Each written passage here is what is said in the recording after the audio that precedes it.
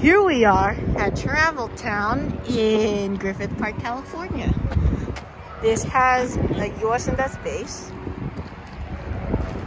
a RACO box, a junction box, I think that's what it's called.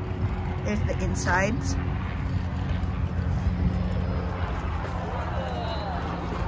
A RACO hydraulic gate mechanism. Two pairs of Wadco 8 inch lights and a Wadco bracket and a WRS mechanical bell. The other side has a WRS base, a RACO hydraulic gate mechanism, WRS brackets, and two pairs of WRS 8 inch lights, and another WRS mechanical bell.